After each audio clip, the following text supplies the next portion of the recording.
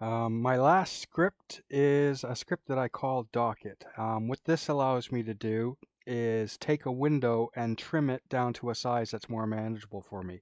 So let's take an example. So let's say I'm, I want to do some coding, but I want to also watch a video and I only have one monitor. Well, what I can do is I can resize, let's say this YouTube video down to a size that I want. I hope I have the script running. Um, let me get that down to there.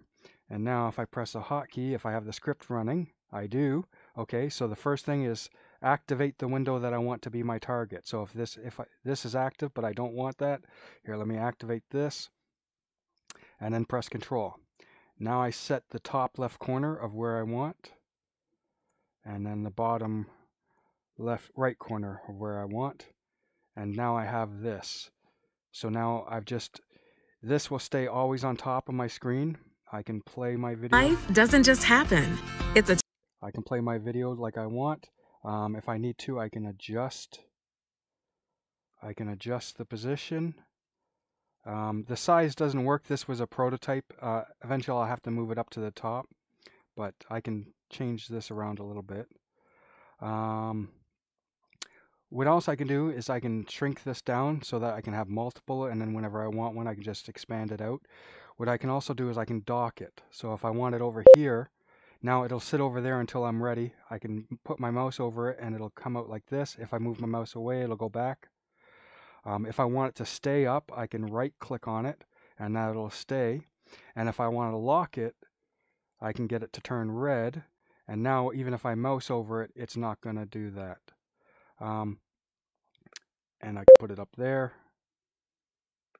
put it over there etc. So an example that you might have is, so let's say I'm doing um, video editing or something like that, and I have a bunch of files or images or whatever that I want, but I want to I want to have a bunch of these things open, File Explorers open. I can bring up this and just trim. Let's say I just want that. And now I can use this the same way I would normally use any other thing. Um, and I can minimize it. If I want notepad,